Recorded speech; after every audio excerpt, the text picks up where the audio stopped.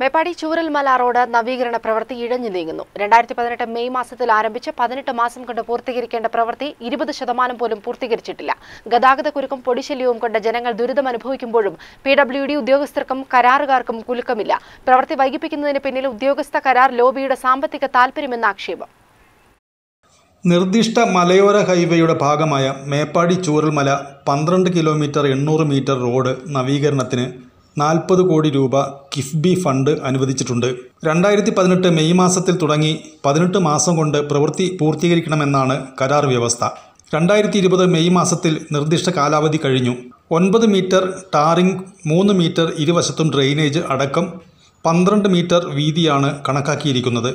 Road കടന്നു പോകുന്നതിന് ഇരുവശത്തും H M L Podar A V T എസ്റ്റേറ്റുകളുണ്ട്. Road വീതി കൂട്ടണമെങ്കിൽ അവർ കൂടി ഭൂമി വിട്ടുകൊടുക്കേണ്ടതുണ്ടെന്ന് ചൂണ്ടിക്കാട്ടി പ്രവൃത്തി താമസിപ്പിക്കുന്ന രീതിയാണ് കരാർ കമ്പനി സ്വീകരിക്കുന്നതെന്ന ആക്ഷേപം മുൻപേ തന്നെ ഉയർന്നിരുന്നു. എന്നാൽ കണക്ക് പ്രകാരം ടാറിംഗ് ഒൻപത് മീറ്റർ ആണെന്നും അത്രയും വീതി നിലവിലുണ്ടെന്നും റോഡ് ആക്ഷൻ കമ്മിറ്റി ചൂണ്ടിക്കാട്ടുന്നു. ഡ്രെയിനേജ് നിർമ്മാണത്തെ മാത്രമേ അത് ബാധിക്കുകയുള്ളൂ.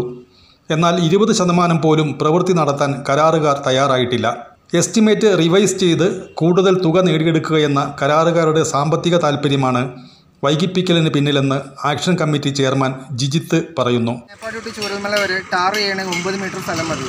അത് തോട്ടങ്ങളുടെ ഭൂമി കിട്ടാതെ തന്നെ ടാറിങ് ചെയ്തു പോകാൻ ഇപ്പോൾ ഒരു തടസ്സവും ആ ഭൂമി ടാർ ചെയ്യാന്നുള്ള പെർമിഷൻ കിഫ്ബി കൊടുത്തിട്ടുണ്ട്. എന്നിട്ടും ഈ ഉദ്യോഗസ്ഥർ ഈ കരാറുകാരെ കൊണ്ട് പണിയെടുപ്പിക്കുന്നില്ല. ആ ഒരു സാഹചര്യത്തിൽ ഞങ്ങൾ ശക്തമായ പ്രക്ഷോഭ പരിപാടിയിലേക്ക് പോകാൻ വേണ്ടി നിൽക്കുകയാണ്.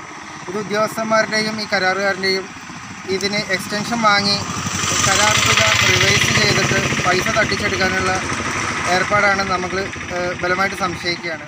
പി ഡബ്ല്യു ഡി ഉന്നതരും കരാറുകാരും കൂടിയുള്ള ഒത്തുകളിയാണ് ഇതിന് പിന്നിലെന്ന് ആക്ഷേപമുണ്ട്. റോഡിന് വേണ്ടി പ്രത്യക്ഷ സമരം ആരംഭിക്കുമെന്നും ഭാരവാഹികൾ പറഞ്ഞു. C K Chandran Wayanad vision Meppadi.